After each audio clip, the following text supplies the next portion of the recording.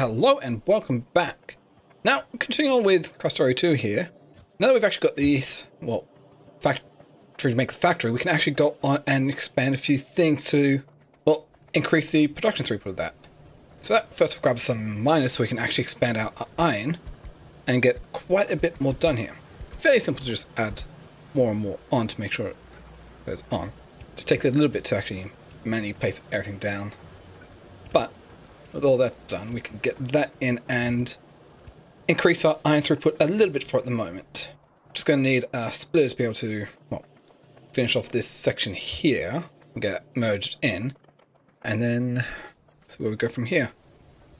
I'm just checking, look, yep. We've got an, enough here, but might expand also the smelting array out as well. First, to get that splitter in, and then the well, electrical poles, which are out of wood, so we need to get a little bit more so we can actually make enough electrical poles to get that finish off. It's not too much. And yep, all that. Just got up here and finish placing these last few electrical poles to get that going on. That the way, we can actually redirect the iron lines to actually have have a bit more space to go through and expand out the smelting array here. Just go remove the old one, old line, and reverse this one up so we can keep it flowing. With that, we just throw down the well furnaces and all the inserts to actually keep it going. But again, I run out of more inserts, but we have plenty being produced here. Just grabbing a few more and realizing that, yeah, I didn't add the iron sticks or the long hand inserts. So it's simple enough to just add it in somewhere where the iron is coming in. So that there and we'll need a long hand insert to be able to insert the iron sticks onto the belt, but do it that way and we'll have the iron coming through. Done. Come back down and finish putting in all the inserts here. Now, last couple steps, getting everything powered up. And also, can't forget the middle row. And we can also can't forget to set the recipe for them all so we can actually start smelting the iron. Now with that, we can come here and think about well, getting the research going a bit more. And also, we need more bullets magazines to be able to defend against the biters that are coming in. So, get a quick and simple well, rifle magazine up going and get that done. And now, now that we've got the culvert line coming through, at least a small amount, we can actually just extend the uh, coal input and make sure that the coal is prioritized to go down the to the oh, steam engines. We've also got these, well, loaders, so I can actually plonk one down and get rid of all the coal that's actually in my inventory. Now that, got a bit of research done and start taking a look at expanding a few things, expanding its smelting array, but we can do that, but we run into a situation, a bit of space situation. But that's easy enough to remove all the inserts because well, we've got it being made elsewhere, so with that done, go through and hook up the last of these steam engines and boilers to get a nice amount and also got to reroute the power line around, so there's that. But with that done, just go down and place everything in and the burner inserts, and it leaves just it going fairly nicely. Now, with the everything going on and the gun turrets and magazines going through, we can actually go around and set off a small perimeter just to be able to keep the biters away. It's not going to be too much, but it'll last long enough. With all that done, come up here and get the top side done, a bit of it up as well.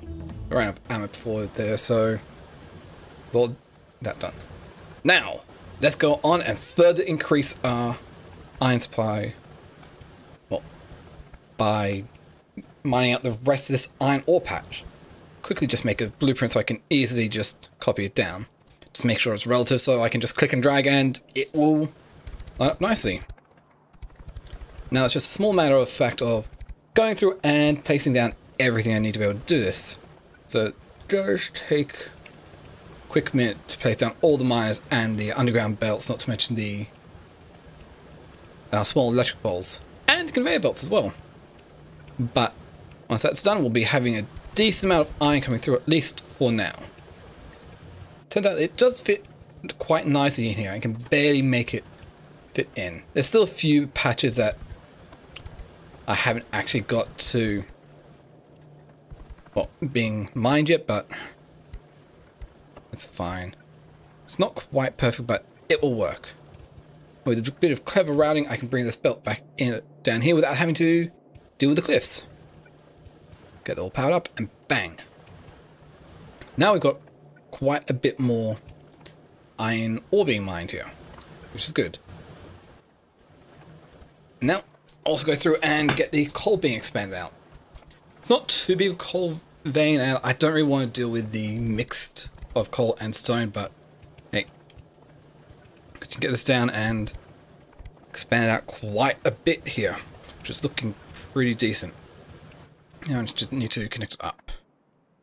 That out of the way, can go through and start making a full-on proper smelting array, which is going to include about, what, enough to get a full belt, yellow belt of plates coming through.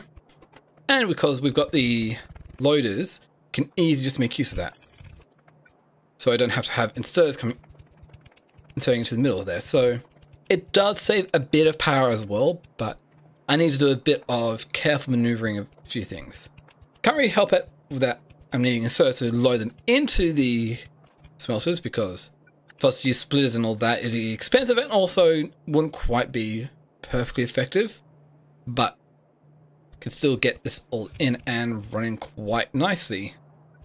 Just gotta connect everything up and run the transport belts down. I had to place this carefully so I could get it around the damaged ship reactor, but with that we can actually get a second one down for what will be copper, and we'll have this first one being for iron. Maybe because the copper is already above it, so it's not too hard to add more in. Just a matter of going through and building up and seeing what is a good way to go about this.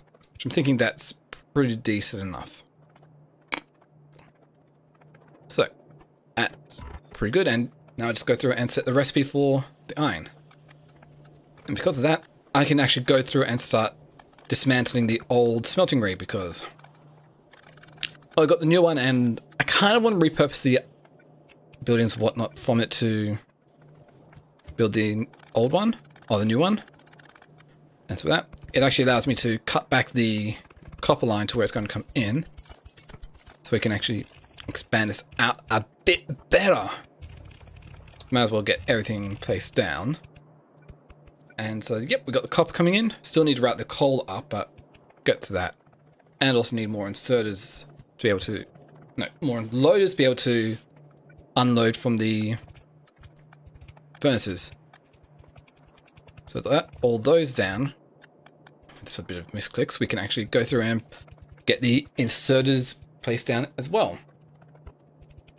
It's just a little bit, but got that all done. Now to power everything. It's not too bad, just click and drag. And we also want to make sure that there's a bit of redundancy in case things disconnect. But now we can actually go through and get the coal connected up because, well, simple enough, just bring it up from here. Another way we can remove the, well, ammo production and start thinking about, well, first off I need to get the copper recipe in so we can get that going.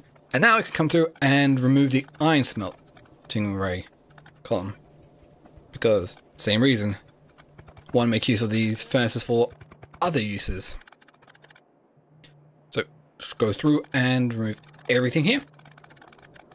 And then I can start redirecting the iron, coal, and whatnot, and getting this to where I want it to be.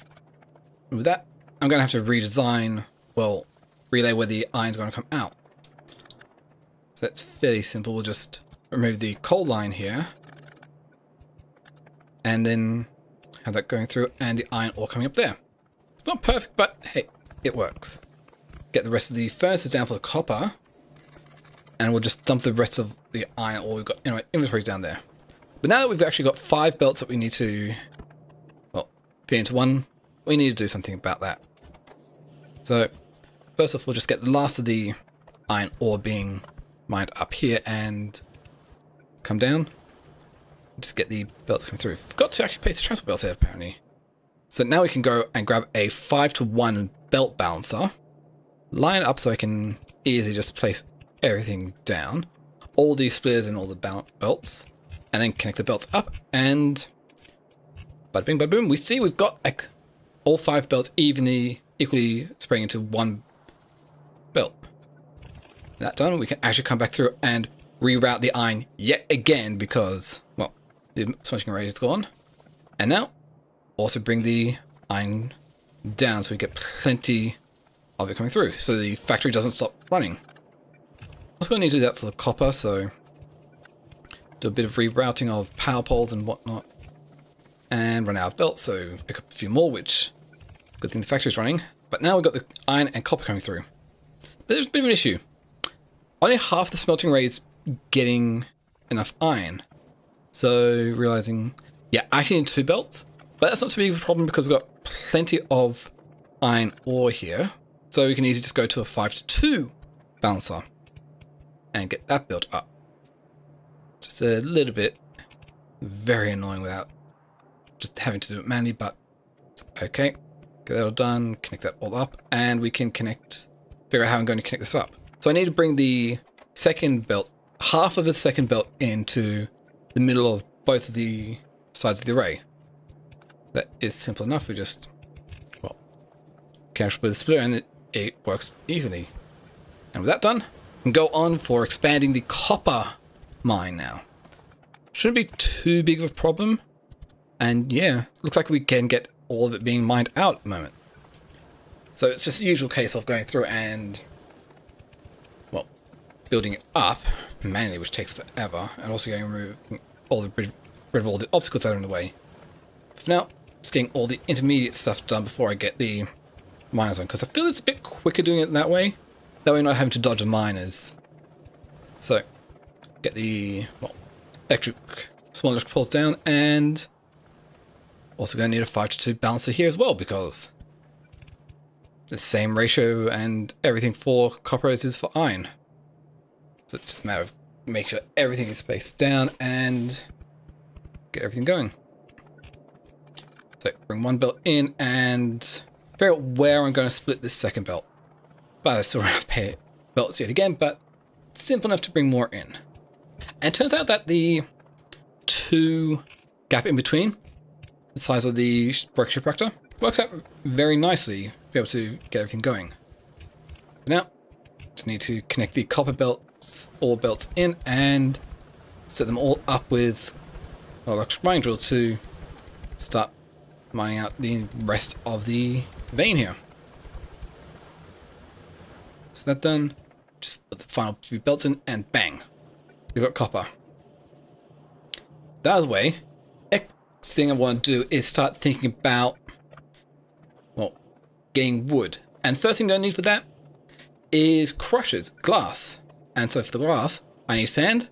So I need to make a few crushers for that, which isn't too hard. I've already got everything I need, so just got to route them around to the other side so we've got an easy way of getting them in. But this works out with a few splitters and all that done.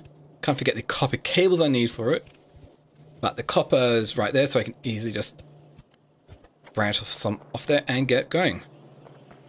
Now, start removing the old, well, tech card automation and research because it's not really suiting my purposes here. And I want to put something else in this position here. So just remove all of it. Just fairly simple. And yeah. So I think about what's going next. Now, the other way, I can get in the smelting array for the glass.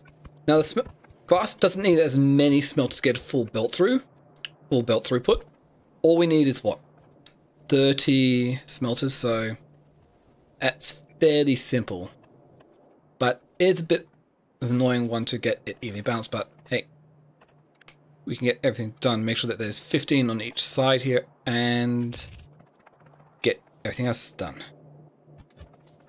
so load to unload and that looks a bit more even doing it this way, but I still want to keep it kind of consistent with the other one, so it's fine. Just counting out and bringing it to about the eighth spot where it's going to be loaded in. And we'll do the same on the other side. And get it going. And yeah. Realize that I did kind of misplace the lows there. So I'll come back to fix it up later. But for now, I'm just going to get everything done there. So that's all placed in and well, we are also making enough steam engine to be able to get a full steam engine array going because why not? And here's where I actually fix it up to be more in line with the rest. It doesn't look as nice, but hey, it is consistent at least. That's all well and good. And now with the crushers done, we only like, what, three of them to be able to get the enough sand throughput to be able to get the glass? Or two? That's just two. But we also need four to be able to get more, but we've only got enough miners down here to be able to get make use of two. So might as well just get that built up and placed in. Figuring the pole crushers almost fit in here, but just need to reroute the coal line around. But then we can easily fit all the miner crushers in and just have them fed via well, the loaders, which then also unloaded via crush as well.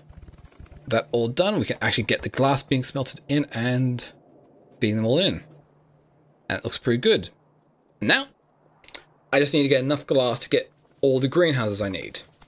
Turns out to be about 23 greenhouses I need to be able to get a full belt throughput of wood. But that also means I need a lot of wood to be able to get the greenhouses. So, figured might as well mine it out here, and also doing that, I could actually get it built up in here as well. Because this is still within the range of area that I marked out earlier with my turrets. So, we're getting enough wood here, we can make the 23. And also start expanding the steam engines a bit more by bringing some more on the other side. Which I will feed the water from the original one as well because, well, that pump still got plenty of throughput it can handle for the rest of them. But just gotta get everything and yeah, I need some more pipes to be able to get everything done, but doesn't mean we can't get half of it running at the moment. Which we can't because we don't have the water. With that done, I can actually go in and start thinking about how I'm going to place greenhouses down. So we start off with like three, four rows of five and realize that, yeah, I can't get it in with three up there without mixing liquids. But because of the sheer length I can actually have a two gap in between and be able to feed them all. So that works out nicely. Just need to make sure we set this all to growing wood. And then got to figure out exactly how I'm going to feed the water in. Because eh, having that one on the end there doesn't really help out too much. So I move it down by one and across, and that allows me to feed the water into between. And because they've all got throughputs, I can actually just have it simply connect up to the ends there and all the water gets through. And now with a zigzag formation, I can get all the wood being unloaded very easily. So just a quick copy and paste, and that is exactly what we're going to do. Place that down, bang. You can see this works out nicely here. And this is, should be enough for a full belt throughput of wood, which is very nice. Let's go and make sure I get everything placed down and our well, wind turbine onto the pump so it actually has power to be able to pump out. With that, we can see here that we've got everything going on and need to power up as well, which simple matter of just like connecting up the everything to it. That we have full build wood coming through.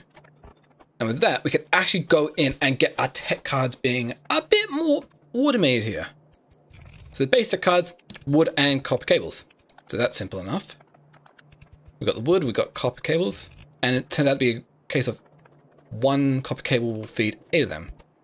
Same for the autom automation tech cards. But we also need to make the basic no, tech card frame or whatever it is. And the automation cores. And if you look at that, we actually had the automation cores down here, so it's easy enough to feed into the line as well.